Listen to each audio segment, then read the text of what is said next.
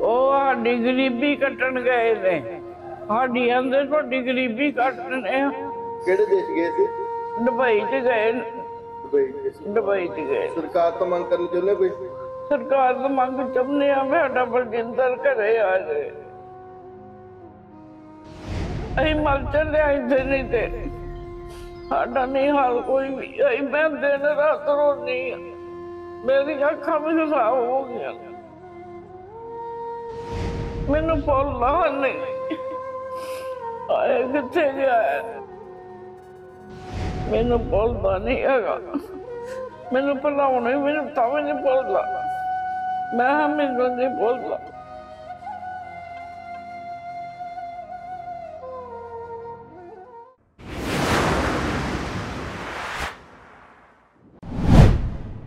ਸੁਲਤਾਨਪੁਰ ਲੋਧੀ ਦੇ ਨੇੜਲੇ ਪਿੰਡ ਭਗੌਰੀਆਂ ਦਾ ਰਹਿਣ ਵਾਲਾ ਨੌਜਵਾਨ ਬਲਜਿੰਦਰ ਸਿੰਘ ਆਪਣੇ ਸੁਨਹਿਰੇ ਭਵਿੱਖ ਦੇ ਲਈ ਦੁਬਈ ਗਿਆ ਸੀ ਅਤੇ ਕਰੀਬ 20 ਤੋਂ 25 ਦਿਨ ਪਹਿਲਾਂ ਉੱਥੋਂ ਰਹੱਸਮਈ ਸਥਿਤੀਆਂ ਦੇ ਵਿੱਚ ਗਾਇਬ ਹੋ ਜਾਂਦਾ ਹੈ। ਆਪਣੇ ਪੁੱਤ ਦੇ ਲਾਪਤਾ ਹੋਣ ਦੀ ਖਬਰ ਸੁਣ ਕੇ ਬੁੱਢੀ ਮਾਂ ਦਾ ਬੁਰਾ ਹਾਲ ਹੋ ਚੁੱਕਾ ਹੈ ਅਤੇ ਉਹ ਭੁੱਬਾ ਮਾਰ ਕੇ ਰੋ ਰਹੀ ਹੈ, ਚੀਕ ਚੀਕ ਕੇ ਪੁੱਤ ਨੂੰ ਆਵਾਜ਼ਾਂ ਮਾਰ ਰਹੀ ਹੈ, ਪਰ ਬਲਜਿੰਦਰ ਸਿੰਘ ਦਾ ਕੁਝ ਵੀ ਪਤਾ ਨਹੀਂ ਚੱਲ ਸਕਿਆ। ਪਰਿਵਾਰ ਵਾਲਿਆਂ ਦਾ ਕਹਿਣਾ ਹੈ ਕਿ ਕਈ ਦਿਨਾਂ ਤੋਂ ਬਲਜਿੰਦਰ ਸਿੰਘ ਦੇ ਨਾਲ ਉਹਨਾਂ ਦਾ ਕੋਈ ਵੀ ਸੰਪਰਕ ਨਹੀਂ ਹੋਇਆ ਅਤੇ ਉਸ ਦੇ ਦੋਸਤਾਂ ਨੇ ਦੱਸਿਆ ਕਿ ਉਹ ਆਪਣੇ ਕਮਰੇ ਦੇ ਵਿੱਚ ਵੀ ਨਹੀਂ ਹੈ। ਉਸ ਦਾ ਸਾਰਾ ਸਮਾਨ ਕਮਰੇ ਦੇ ਵਿੱਚ ਹੀ ਹੈ ਅਤੇ ਉਸ ਦਾ ਫੋਨ ਵੀ ਬੰਦ ਹੈ। ਪਰਿਵਾਰਕ ਮੈਂਬਰਾਂ ਨੇ ਸਮਾਜਿਕ ਕਾਰਜਕਰਤਾ ਐਸਪੀ ਓਬਰੋਏ ਅਤੇ ਰਾਜ ਸਭਾ ਸਦੱਸਿਆ ਮੈਂਬਰ ਬਲਬੀਰ ਸਿੰਘ ਸੀਚੇਵਾਲ ਸਣੇ ਸਰਕਾਰ ਤੋਂ ਅਪੀਲ ਕੀਤੀ ਹੈ ਕਿ ਬਲਜਿੰਦਰ ਸਿੰਘ ਦੀ ਭਾਲ ਕਰਕੇ ਉਸ ਨੂੰ ਭਾਰਤ ਵਾਪਸ ਲਿਆਉਣ ਦੇ ਵਿੱਚ ਜਲਦ ਤੋਂ ਜਲਦ ਮਦਦ ਕੀਤੀ ਜਾਏ। ਮੇਰਾ ਨਾਂ ਚੰਨਣ ਕੌਰ ਹੈ। ਕੀ ਕਹਿਣਾ ਚਾਹੁੰਦੇ ਹੋ? ਅਸੀਂ ਇਹ ਕਹਿਣਾ ਚਾਹੁੰਦੇ ਆ ਕਿ ਜਿੱਦਾਂ ਵੀ ਹੁੰਦੀ ਸਾਡੇ ਘਰ ਆ ਜਾਵੇ ਸਾਡੀ ਗਰੀਬੀ ਕੱਢਣ ਗਿਆ ਸੀ ਤਾਂ ਘਰੋਂ ਬਾਹਰ ਨਿਕਲ ਗਿਆ। ਆਪਣੇ ਰੂਮ ਚੋਂ ਬਾਹਰ ਨਿਕਲ ਗਿਆ ਕੱਪੜੇ ਉੱਥੇ ਛੱਡ ਗਿਆ ਵੇ। ਤੁਹਾਡੇ ਲੜਕੇ ਦਾ ਨਾਮ ਕੀ ਸੀ?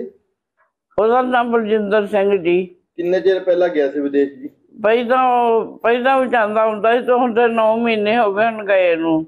ਤੇ ਨਵੇਂ ਮਹੀਨੇ ਆਇਆ ਕਹਿੰਦਾ ਮੈਂ ਛੁੱਟੀ ਕੀਤੀ ਏ। ਛੁੱਟੀ ਕਰਕੇ ਕਰਦਾ ਰਿਹਾ ਤੇ ਜਦੋਂ ਦੂਜੇ ਆਏ ਨੇ ਉਹਨਾਂ ਵੇਖਿਆ ਕੱਪੜੇ ਵੀ ਉੱਥੇ ਪਏ ਨੇ ਬੈਗ ਵੀ ਉੱਥੇ ਪਿਆ। ਹੈ। ਬਲਜਿੰਦਰ ਉੱਥੇ ਹੈ ਨਹੀਂ।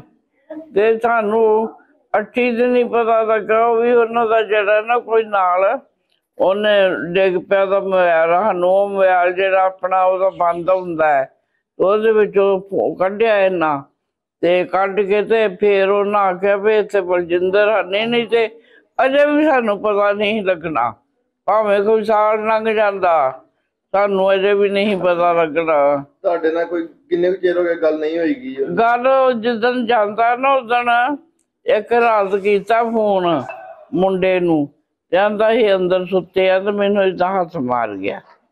ਮੈਂ ਵੇਖਿਆ ਵੀ ਬੀਬੀ ਠੀਕ ਹੈ ਤੇ ਏਦਾਂ ਹੱਥ ਮਾਰਿਆ ਉਹਨੇ। ਤੇ ਉਦੋਂ ਬਾਅਦ ਚ ਅੱਠੀ ਦਿਨ ਹੀ ਵੇਖਿਆ ਵੀ ਉਹਦਾ ਫੋਨ ਨਹੀਂ ਹੁੰਦਾ ਪਾਣੀ ਆਉਣ ਡਿਆ। ਉਹਦਾ ਫੋਨ ਆਉਂਦਾ ਸੀ ਤੇ ਜਦੋਂ ਆਂਦੇ ਨੇ ਵੀ ਉਹਦਾ ਫੋਨ ਅਜੇ ਵੀ ਨਹੀਂ ਆਉਂਦਾ, ਮੈਂ ਨੈਟ ਅਜੇ ਵੀ ਨਹੀਂ ਪਿਆ। ਜਦੋਂ ਇੰਨੀ ਗੱਲ ਕਰਦੇ ਤੇ ਫਿਰ ਆਹ ਫੋਨ ਨੰਬਰ ਤੇ ਨੈਟ ਦਿੱਤਾ ਨਹੀਂ। ਤੇ ਜਿਹੜਾ ਉਹਦਾ ਅੱਗੇ ਤੋਂ ਨੰਬਰ ਤੋਂ ਪੈਸੇ ਪਾਏ ਨੇ ਨਾ ਉਹ ਇਹਨਾਂ ਮੈਂ ਉਹ ਕੱਢੋ ਵਿੱਚੋਂ ਜਿਹਦੇ ਤੋਂ ਪੈਸੇ ਪਾਏ ਨੇ ਉਹ ਕਿਤੇ ਨਾ ਦੇ ਫੋਨ ਫੋਨ ਫੋਨ ਕਿਤੇ ਨਾ ਕੱਢਿਆ ਹੈ। ਕੱਢ ਕੇ ਤੇ ਉਹਦੇ ਤੋਂ ਗੱਲ ਕੀਤੀ ਜਿਹੜੇ ਮੁੰਡੇ ਕੰਮ ਕਰਦੇ ਨੇ ਨਾਲ। ਉਹਨਾਂ ਨੇ ਦੱਸਿਆ ਉਹਨੂੰ ਤੇ ਪਤਾ ਹੀ ਨਹੀਂ ਲੱਗਣਾ। ਬਲਜਿੰਦਰ ਕਿੱਥੇ ਚਲਾ ਗਿਆ ਪਰ ਸਾਲਾ ਹੀ ਲੰਘ ਜਾਂਦੇ। ਰੋਜੀ ਰੋਟੀ ਕਮਾਉਣ ਗਏ ਸੀ?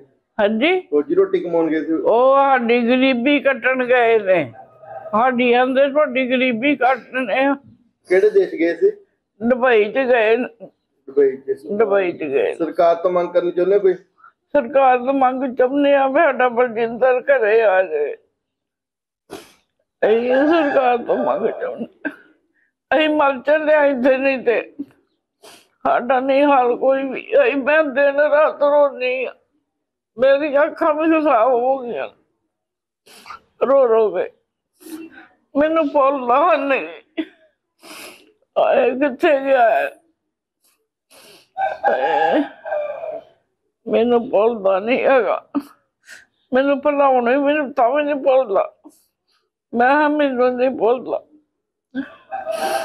ਆਏ ਹਾਂਜੀ ਸਰ ਸਤਿ ਸ੍ਰੀ ਅਕਾਲ ਜੀ ਮੇਰਾ ਨਾਮ ਮਨਜੀਤ ਕੌਰ ਪਿੰਡ ਭਾਗੋ ਰਾਈਆਂ ਤੋਂ ਆ ਜੀ ਬਾਕੀ ਮੇਰੇ ਬਲਜਿੰਦਰ ਸਿੰਘ ਬ੍ਰਦਰ ਲੱਗਦੇ ਨੇ ਉਹ ਦੁਬਈ ਵਿੱਚ ਤਕਰੀਬਨ ਸਾਲ ਇੱਕ ਪਹਿਲਾਂ ਗਏ ਸੀਗੇ ਕੰਮ ਕਰਨ ਵਾਸਤੇ ਰੋਜੀ ਰੋਟੀ ਕਮਾਉਣ ਵਾਸਤੇ। ਕੀ ਕੰਮ ਕਰਦੇ ਇੱਥੇ?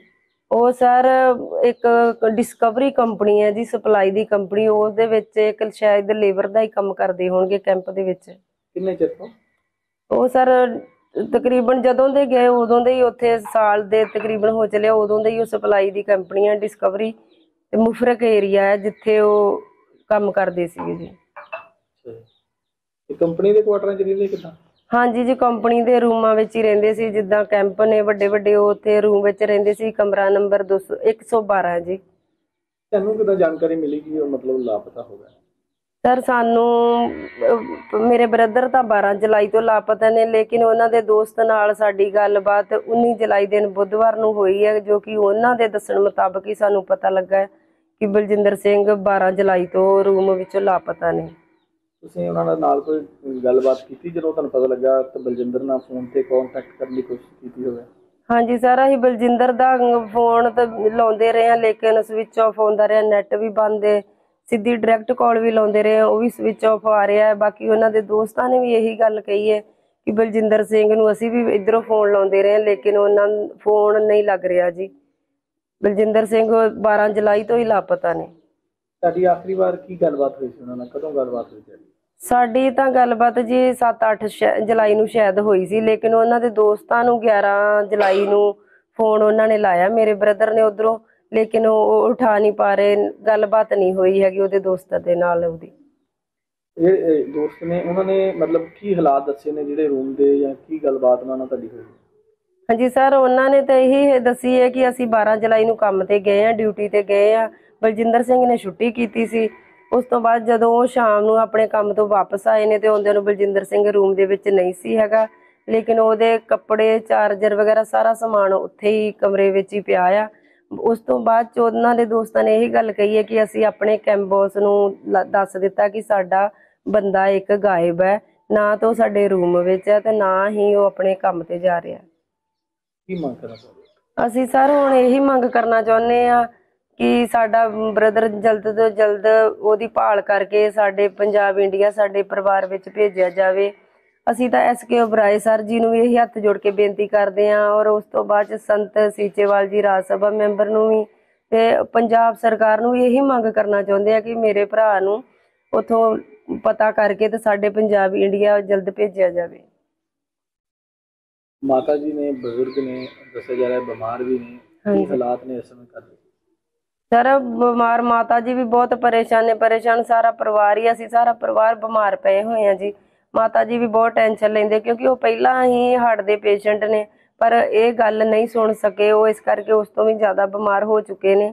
ਇਸ ਕਰਕੇ ਅਸੀਂ ਮੰਗ ਕਰਦੇ ਹਾਂ ਕਿ ਸਾਡੇ ਪਰਿਵਾਰ ਵਿੱਚ ਸਾਡੇ ਭਰਾ ਨੂੰ ਵਾਪਸ ਲਿਆਂਦਾ ਜਾਏ। ਜਿਹੜੇ ਵੀ ਉਹ ਹਾਲਾਤਾਂ ਵਿੱਚ ਆ, ਉਸ ਨੂੰ ਛਡਵਾ ਕੇ ਜਾਂ ਉਹ ਕਿਤੇ ਹਸਪੀਟਲ ਹੈ, ਜਾਂ ਉਹ ਕਿਸੇ ਦੁੱਖ ਤਕਲੀਫ 'ਚ ਹੈ, ਜਾਂ ਕਿਤੇ ਉਹ ਪੁਲਿਸ ਸਟੇਸ਼ਨ ਵਿੱਚ, ਜੇਲ੍ਹ ਵਿੱਚ ਹੈ, ਉਹਨੂੰ ਜਿੱਥੇ ਵੀ ਹੈਗਾ, ਉਹਦਾ ਭਾਲ ਕਰਕੇ ਹੁਣ ਉਹ ਦੁਬਈ ਸਰਕਾਰ ਵਾਲੇ ਹੀ ਸਾਡੇ ਕੰਪਨੀ ਵਾਲੇ ਹੀ ਸਾਡਾ ਕਰ ਸਕਦੇ ਨੇ ਹੱਲ ਮਸਲਾ ਕਿਉਂਕਿ ਅਸੀਂ ਤਾਂ ਪੰਜਾਬ ਵਿੱਚ ਰਹਿ ਰਹੇ ਆ ਅਸੀਂ ਹੁਣ ਸਿਰਫ ਇਹੀ ਅਸੀਂ ਤਾਂ ਮੀਡੀਆ ਰਾਹੀਂ ਗੁਹਾਰ ਲਾ ਸਕਦੇ ਆ ਕਿਉਂਕਿ ਅਸੀਂ ਉੱਥੇ ਜਾ ਨਹੀਂ ਸਕਦੇ। ਬਾਕੀ ਜੋ ਵੀ ਕੰਮ ਕੰਪਨੀ ਕਰ ਸਕਦੀ ਹੈ ਜੀ ਕੰਪਨੀ ਹੀ ਉਹਦਾ ਜਿਹੜੇ ਕੰਪਨੀ ਮੈਂਬਰ ਨੇ ਕੈਂਬੋਸ ਨੇ ਉਹੀ ਉਹਨੂੰ ਲੱਭ ਕੇ ਤੇ ਉਹੀ ਸਾਨੂੰ ਸਾਡੇ ਹਵਾਲੇ ਉਹ ਕਰ ਸਕਦੇ ਨੇ ਜੀ।